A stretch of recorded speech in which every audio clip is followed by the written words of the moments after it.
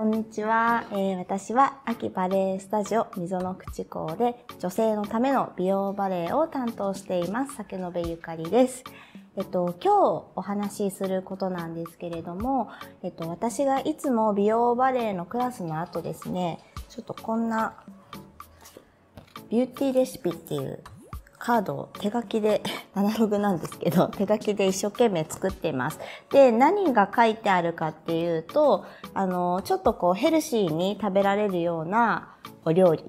とか、えっと、ほぼ90%がお料理のことなんですけども、えー、たまにですね、あの、まあ、美容のこと、紫外線を、例えばすごい浴びてしまった時の対処法とかっていうのを入れたりもして、まあ、そういうビューティーレシピっていうのを作っているんですけれども、今日はそれにまあちなんでと言いますか、ダンサーさんたちが普段気をつけて、食生活で気をつけていることっていうのを少しね、私の友人のダンサーに協力をしていただいて、あの、お話を聞いてきたので、それを少しね、最後にお話できたらいいなと思っています。で、まあ、ダイエットって皆さんね、女性ならこう経験したことが、まあ、半数ぐらい、半数以上もとかな、あると思うんですけれども、私も経験はしたことあるんですけれども、で、私、そうですね、20年ぐらい前、中学生ぐらいの頃は、やっぱりあの、痩せれば痩せるほどいいじゃないですけども、ね、バレエやってるなら細くなきゃいけないとか、本番前は絶対に痩せなきゃいけないっていうような、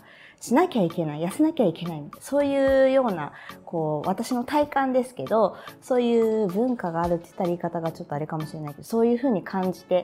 いたので、本当に私も結構踊っていましたが、本番前になると、なんて言うんですかね、牛のような生活っていうか、葉っぱと豆腐ばっかり食べて、みたいな。絶対真似しないでくださいね。そういうことをしてたこともありました。ただ、まあね、あの、時代が変わって、ここ、そうですね、これも私の体感ですけども、5年、10年ぐらいかな。は、やっぱりこの痩せなきゃいけないっていうところから、細くなきゃいけないとかそういうところからですね、プラスアルファ、健康的にえー、健康的な体型といいますかバレエをやっていても健康的に、えー、体を絞りましょうというようなそういう方にこうシフトしていってるんじゃないかなっていうふうに私の体感ですけどもふうに感じています。やっぱりあの私が中学生ぐらいの頃はあの無理なダイエットをしてですね極端な食生活に切り替えたりとかして、えー、バレエができなくなった子がやっぱ数人周りにいました。バレエのためにすごく頑張っていたのに、えー、結果バレエができなくなってしまったっていう子もいましたのでえっと皆さんはねそういうダイエットをしないように、あのー、ちょっとこれから普段ダンサーが気をつけてることっていうのを少しお話ししますが、ちょっと参考までに、え聞いてくれるといいかなと思います。はい。この子はですね、えっと、私の、まあ、後輩にあたるんですけれども、まあ、ちょっと仲良くさせていただいている、えー、同じバレエスタジオ出身のお友達です。で、えっと、バレエ団は谷桃子バレエ団に所属しているお友達なんですけれども、まあ、普段ね、どういったことを気をつけてるのっていうお話を、えー、聞きました。えまず一つ目。朝ごはんはしっかり食べる。朝ごはんはしっかり食べましょう。これ、私 YouTube で話したことあると思いますので、えっと、ちょっと詳しくは今日は割愛しますが、気になる方はちょっと YouTube 朝ごはんは食べなきゃいけない理由っていうのがあると思うので、ぜひ見てきてください。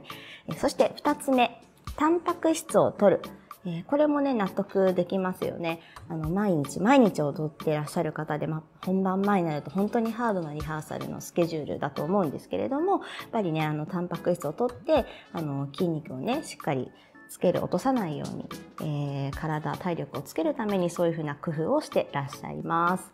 えー、そして、甘いお菓子は少量で我慢する。少量で我慢する。つまり全く食べないわけではないとのことです。やっぱりね、0か100、0、100、私結構0、100タイプの人なんですけど、もう食べないってやっぱ決めちゃうと、すごいストレスですよね。で、何かのきっかけ、お友達とご飯行った時とかに、ちょっとなんか食べたら、ちょっとしか食べてないのにすっごい太った気になっちゃいません？そういうこともあるので、全く食べないっていうのは本当にストレスになって、本人も無理だっていうことなので、まあ、少量、少量ならいいよっていうルールを作っているようです。そして最後。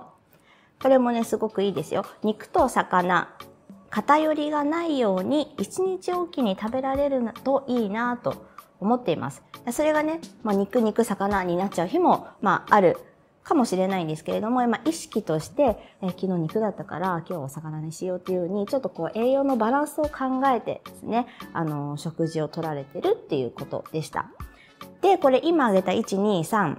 4つって結構あの、ダンサーにしては、何でしょう、普通に